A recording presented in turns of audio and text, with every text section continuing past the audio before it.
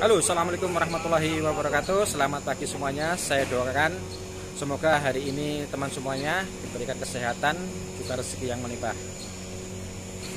Oke, untuk video kali ini Saya ingin berbagi Cara Menyambung kabel Tentunya dengan baik dan benar.